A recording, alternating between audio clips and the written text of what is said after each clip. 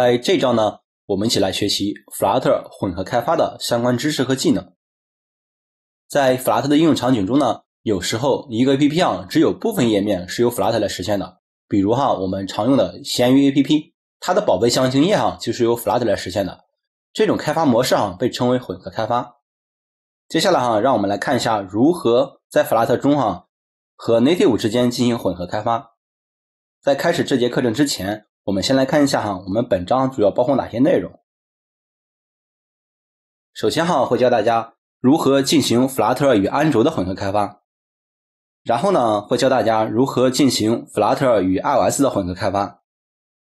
接着呢，会教大家如何在 Flutter 中与安卓进行通信，然后呢，会讲解 Flutter 与安卓的通信开发指南，最后呢，会讲解。Flutter 与 iOS 的通信开发指南。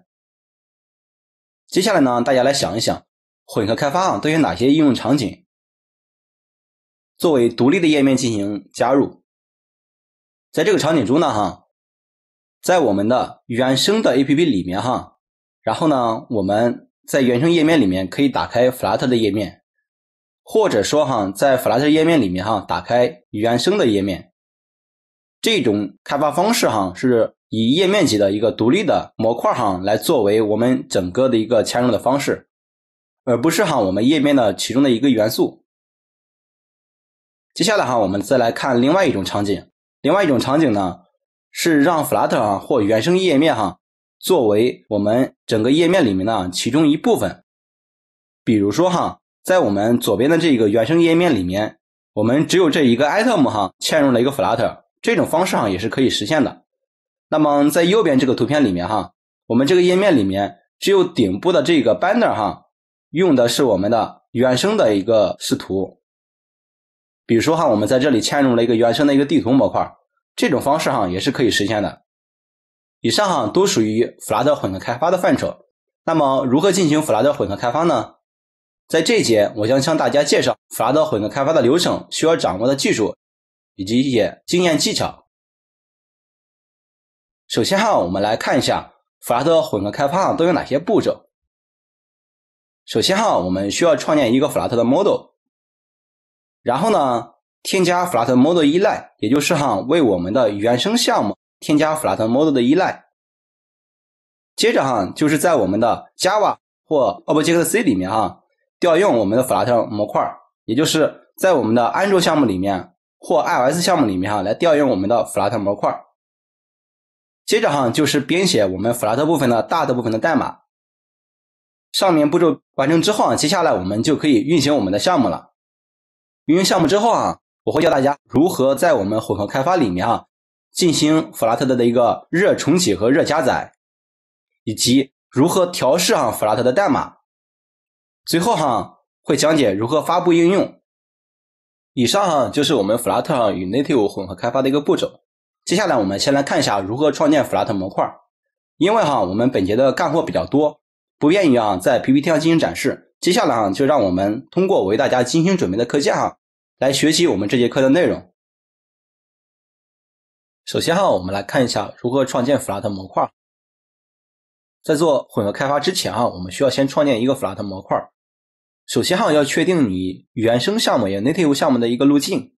假如哈你的 Native 项目路径是这样子的。这个代表哈你 native 的项目，然后呢前面是它的路径。接下来哈我们需要切换到我们 native 的项目的上一级目录，也就这一级目录。然后呢在这里我们通过这个命令行工具，我们通过 flutter create 哈，然后加上杠 t model，然后呢后面是我们所要创建的 flutter 的项目名字。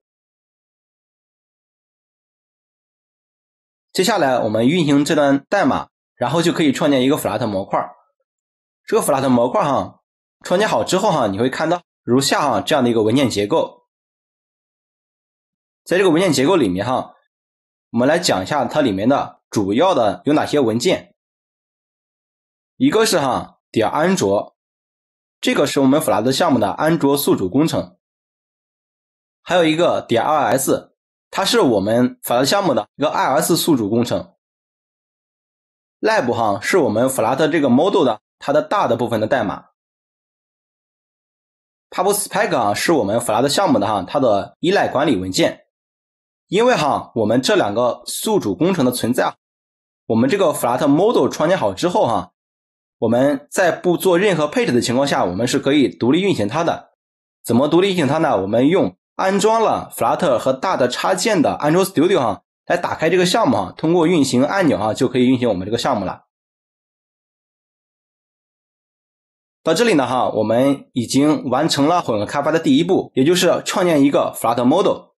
以上哈便是我们本节的主要内容。本节呢，我们讲解了我们 Flutter 开发的哈一个流程还有步骤，然后呢教大家如何创建这个 Flutter Model。创建这个 Flutter Model 哈，我们用到了一个 Flutter 这样的一个脚手架工具。脚手架工具哈，在我们前面的课程里面哈有给大家讲解。就是如何安装和创建好我们 Flutter 的项目环境。这个 Flutter 命令哈，在我们 Path 目录里面哈，也就是我们机器的环境变量里面哈所设置的。OK，以上便是本节的主要内容。在下节呢哈，我会教大家如何进行 Flutter 与安卓的混合开发。